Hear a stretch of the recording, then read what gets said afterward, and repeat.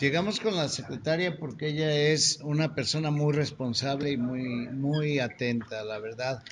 Es generosa en el trato, pero además sabe, sabe de la Secretaría de Educación, no es arribista como otros que sin saber vienen a generar trastornos y a causar problemas. ¿Como quién?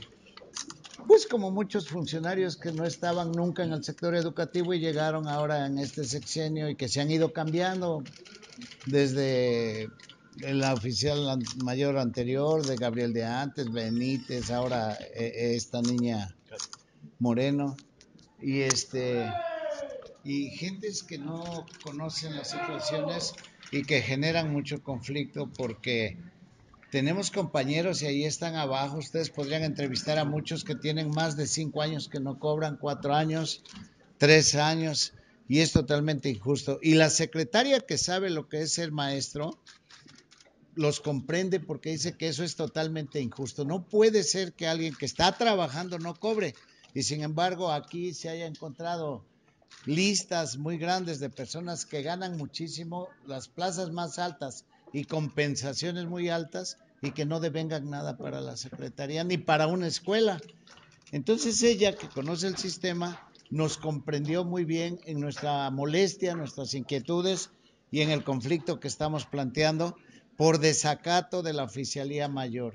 Ella, la oficial mayor, tenía el acuerdo del señor gobernador de que resolviera el conflicto que habíamos planteado desde hace más de una semana. Sin embargo, buscando diferentes pretextos, no se ha podido resolver. Por eso anoche, cuando nos dijeron que estaba resuelto y nos entregaron documentos que no sirven para nada, mal hechos y con las deficiencias eh, con las que se hicieron a propósito para que no sirvieran a los trabajadores, pues los tuvimos que devolver y tuvimos que convocar a los que pudimos anoche a las 10, 11 de la noche para que hoy vinieran a manifestar su inconformidad. Y ya le dijimos a la secretaria y a los empleados de la Oficialía Mayor, el de Recursos Humanos y, y el jefe de asesores, que si no estaba hoy ya las soluciones entregadas a mano de los secretarios de Trabajo y Conflictos, de los compañeros del comité, vamos a interrumpir el examen que se va a hacer mañana de bachillerato en todo el estado. Si no nos empiezan a dar las soluciones como se convino, mañana vamos a suspender los eh, exámenes de admisión que se pretenden hacer. Y vamos a tomar otras acciones más radicales porque no es justo. Ellos viven muy bien, ganan muy bien, están excelentemente bien pagados todos. Y nuestros compañeros que como profesores ganan 5 o 10 horas, los tienen sin cobrar desde hace mucho tiempo. Consecuentemente esto ya rebasó todos los límites porque sabe el oficial mayor y saben sus colaboradores que este gobierno está terminando. Viene un cambio radical seguramente con el nuevo gobernante que va a entrar y con todo lo que hemos visto a través de ustedes, de los medios de comunicación, bueno, ya los, los trabajadores están angustiados, no solo desesperados, para ver qué va a pasar. Y antes de que pase algo más radical y molesto, pues queremos que se queden ya con sus nombramientos en mano y su pago, aunque van a perder toda la retroactividad.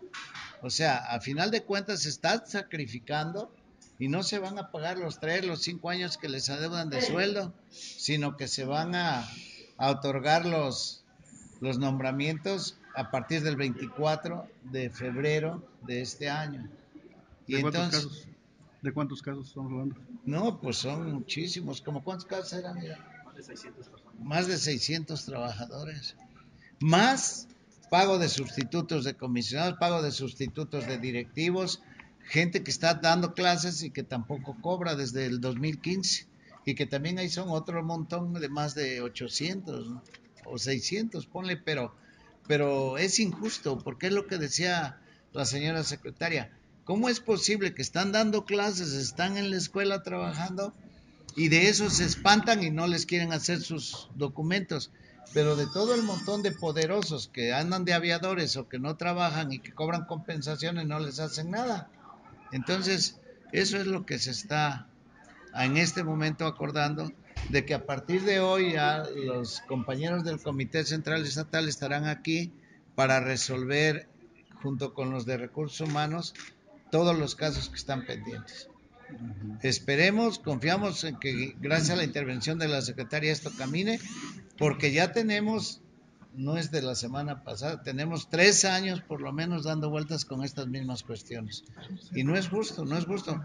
Ellos, ellos, nuestros compañeros, no tienen la culpa que se hayan llevado el dinero de la secretaría y lo hayan ocupado para otras cuestiones.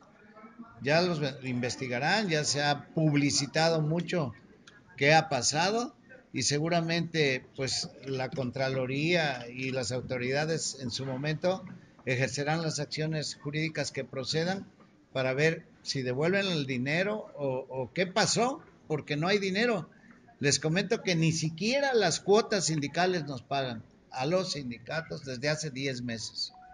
Entonces, para que vean cómo están las cosas, están muy mal. Entonces el ultimátum es hoy, si no hay nada, hoy, mañana paran. Como decía Fox, hoy, hoy, hoy. Gracias. Su nombre, por favor. Ricardo Díaz Lindo, secretario general estatal del SUTSEN. Gracias. Gracias. Secretario. Merci.